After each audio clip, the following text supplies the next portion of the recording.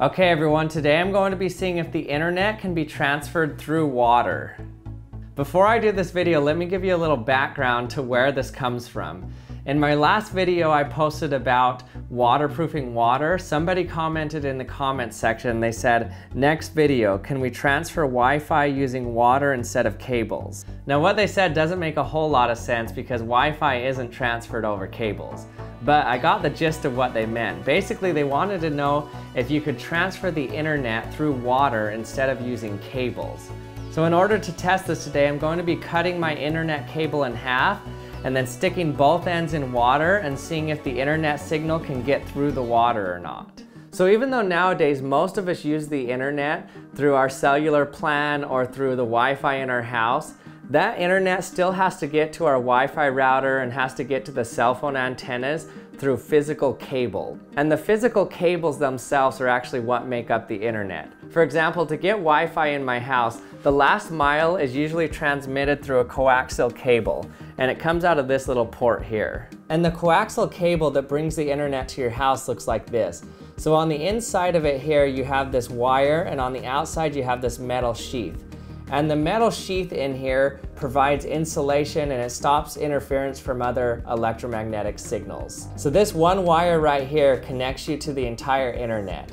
So all the information, everything you use, everything you download or upload goes through this little wire here. But what information is actually being transferred through this wire?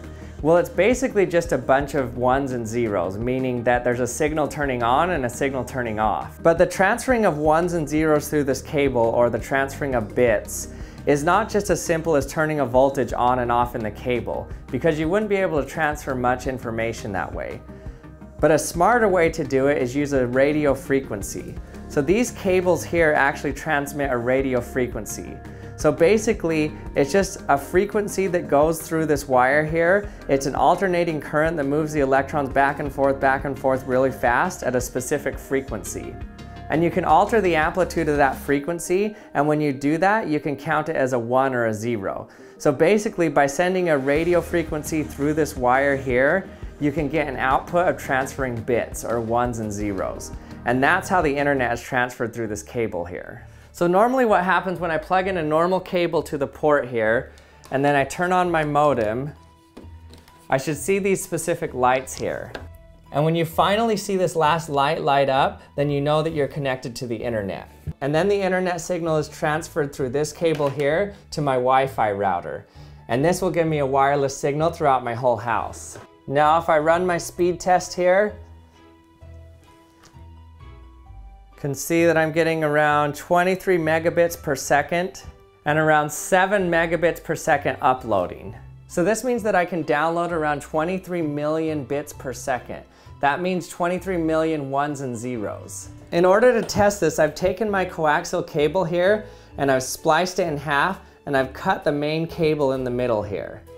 So this is no longer connected. If I connect it now, I'll never connect to the internet because there's this big gap here. But I'm gonna connect these cables here with these alligator clips. And then I'll put one in each end of the water and see if the internet signal can actually go through the water. Okay, so let's plug in our other cable now. And I'm gonna connect the other end of it into my modem. Okay, so you can see my spliced cable here. So the first thing we need to do before we try this is to add salt to this water because water in and of itself is not conductive. So we're not gonna be able to transmit the radio frequency through it unless we make the water a little bit more conductive. So let's put some salt in it. Okay, we're ready to go. You can see on the modem here, the little world is not lit up. That means we're not connected to the internet. Let's see what happens when we put the cables in the water. Okay, transmitting the internet through water instead of cables. Three, two, one.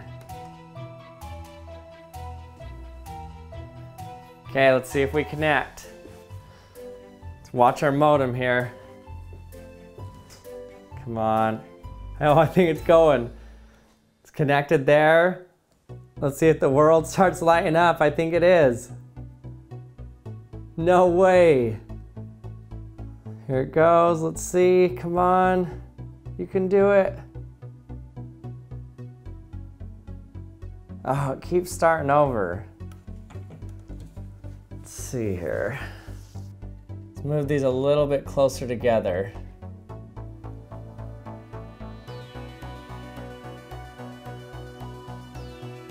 I think it's going. I think we're connected. Okay, let's do a test. I think we're really connected to the internet. So it's going through the water. Let's do our speed test before we lose the connection. Okay, try it again. Are we connected? Oh, contacting the server. Zero megabits per second.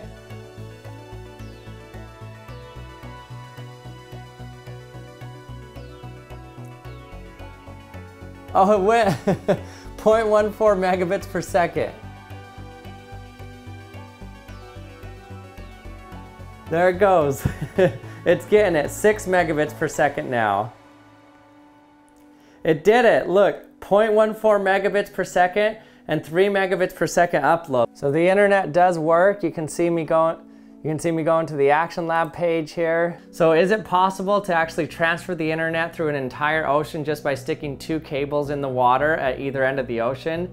Well, most likely not, because over that many miles of ocean, you're going to degrade your signal so much that you'll basically be left with nothing. Well, thanks everybody. That was fun to try. It was a fun challenge to try to send the internet through water. And if you haven't subscribed to the Action Lab yet, remember to hit that subscribe button and hit the bell to be notified when my latest videos out. Thanks for watching and I'll see you next time.